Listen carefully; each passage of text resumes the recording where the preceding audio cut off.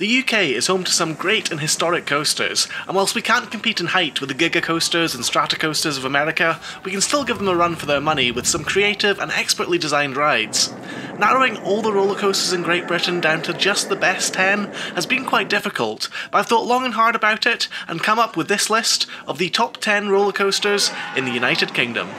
Number 10 Wicker Man at Alton Towers. Wicker Man is the latest wooden coaster to open in the UK, and its theming is pretty spectacular. As far as the ride itself goes, it's good, but a little bit underwhelming.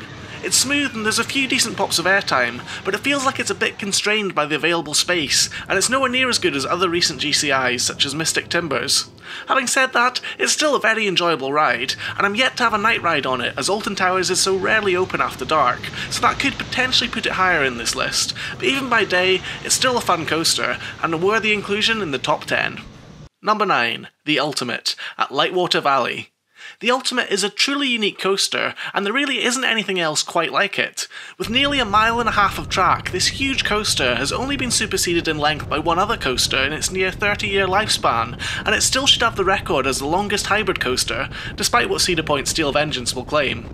It's really a coaster of two halves, with the section after the first lift giving a mostly straight ride out in the open, with a few small bumps, but the part after the second lift hill is a crazy rush through the forest, feeling out of control like a wild animal tearing through the trees. Like a lot of older coasters, it's a bit rough in some places, and you may end up with some ultimate bruises, but they're worth it to experience this one of a kind ride. Number 8, the big one, at Blackpool Pleasure Beach. The big one may be a bit of a rubbish name for a coaster, but you can't deny its impressive size and looks. Standing 213 feet tall and having a steep and twisted first drop, it took the record from Magnum XL 200 as the tallest roller coaster in the entire world when it opened. These days it's getting a bit rough in places, particularly on the first drop, but I think they replaced some of the roughest bits during the off season last year, so that can only make it better. To me, the big one really is all about speed and height, as it does lack airtime, especially when compared to the likes of Magnum, and I've never really understood why the first hill is so triangular in shape, rather than a nice curved airtime hill. The speed sensation on the ride, however, is great, and still after over 25 years, the ride remains the tallest one in the UK. Number 7. The Smiler at Alton Towers. The Smiler is the current world record holder for the most inversions on any coaster, and that makes for an insanely twisty ride. It flips you upside down no less than 14 times, and there's even a couple of airtime hills partway through to vary the forces you experience. It's a bit of a shame that the ride has over the shoulder restraints, as if it had more modern clamshell restraints as seen on other Gerstlauer coasters. I think it would be infinitely better and relieve a bit of the headbanging you get on some sections of track, although that might have made it a bit too scary for some people. It's still a fun, crazy ride, and really is a marvel to behold, as how it's managed to pack so many inversions into the space takes up is an impressive feat of engineering. Number 6. Oblivion at Alton Towers. The first ever dive coaster has a truly unforgettable drop, and even when compared to taller dive machines, Oblivion's drop is fantastic. The near vertical dive through mist into the darkness of a tunnel where you can't see the bottom is simply exhilarating, and may make even seasoned enthusiasts catch their breath. There isn't really that much after the drop though, so it really is a one trick pony, but it's an incredible trick. Number 5, Icon at Blackpool Pleasure Beach. Icon is a very good coaster, and whilst it pales in comparison to Helix as far as Mack launches go, it's a fantastic addition to Blackpool Pleasure Beach. The launches are a bit on the weak side, but the rest of the ride is such good fun, with airtime inversions and plenty of twistiness. It runs a bit slow in the morning, but once it warms up, it's a great ride, and it's definitely the most re-rideable coaster at Blackpool, and now that the Wild Mouse is gone, my favourite one there. Number 4. Nemesis Inferno at Thorpe Park. The second B&M invert to open in the UK, Nemesis Inferno is a fantastic smooth ride. It has all the usual B&M elements featuring a vertical loop, zero-G roll, and interlocking corkscrews, and it gives a good speed sensation with lots of the coaster being close to the ground. It's not the most forceful inverted coaster, but that makes it very easy to re-ride, and it's got a nice flow through the elements, creates some really good pacing.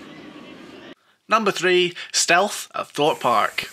With the fastest acceleration of any hydraulic launch coaster in the world, Stealth stands as the second tallest coaster in the UK, only being behind the big one, and whilst it's not a long ride, it sure packs a punch. The launch is definitely the best one in the UK, and puts coasters like Icon to shame. The airtime over the top is great fun, and it really sends you flying before you dive down onto the floaty airtime brake run. It's essentially a baby version of Kingda Ka, which is over twice in height, but what it lacks in height, it makes up for in that initial kick at the launch.